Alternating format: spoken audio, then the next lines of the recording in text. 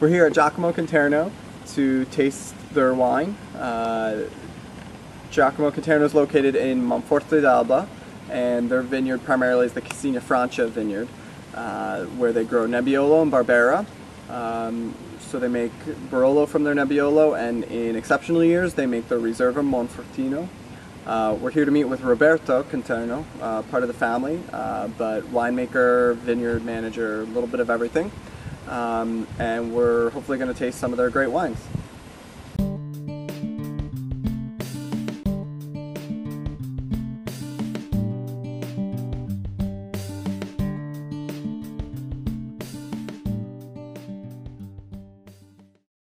Monforte d'Alba is at the southern end of the Barolo region of Piedmont.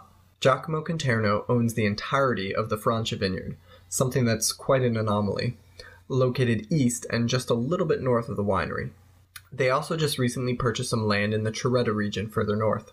The methods they use for creating these premier wines are about as traditional as one gets in the Barolo region. They ferment and age only in large Slavonian or Austrian oak casks, so there's very little oak flavor added but the wine is still able to breathe during aging. Roberto makes three wines a Barbera for drinking young, though I wouldn't be surprised that this wine could do some serious aging, Barolo, and a reserve Barolo called Monfortino. I wanted to visit this winery because they are known for being one of the absolute best producers of Barolo, and they've had this reputation for quite some time. If there were a classification system in Barolo the way there is in Bordeaux, Conterno would be at the top of the first growths.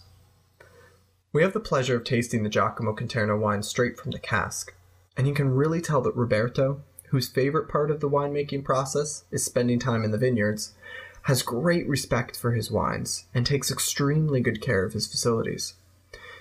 Not only is the aging room spotless, but more than that, it's apparent that he truly cares about the wine in a way that is found in few other producers I've met. Winemaking is more than in his blood, it's in his soul. What an incredible experience to taste these extraordinary wines with a truly legendary winemaker. After lunch in Monforte d'Alba, we head right up the road to our next appointment. We're here at Elio Grasso to meet with Gianluca, who is the son of Elio Grasso and current winery manager. Uh, we're in the Gavarini region of Monforte d'Alba, um, we're going to taste some of their Nebbiolo and Barbera, which are the, the mainstays of the region, but we also are, are interested in tasting the Chardonnay as well, because they make a pretty darn good Chardonnay. Um, hopefully going to get to see some of the winery and the vineyards as well. And looks like we have to go because Elio's about to pull in the driveway. We start our visit with a tour of the facilities. Elio Grasso is a small producer. But, as far as Piedmont is concerned, it's really on the high end with about a 7,500 case production. They age in cask, but also in French barrique for some of their wines. Their methods are a bit more progressive while still holding on to tradition. They recently finished some new construction in their winery, creating a deep tunnel to house the wines during aging. Every room inside that tunnel is temperature controlled and set with the proper lighting for each stage of production. Unlike many producers in the Barolo region, Elio Grasso's vineyards are in close proximity to the winery itself.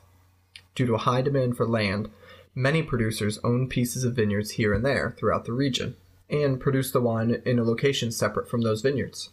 Elio Grasso, on the other hand, has most of their vineyards within sight of the winery, with some only feet from the building.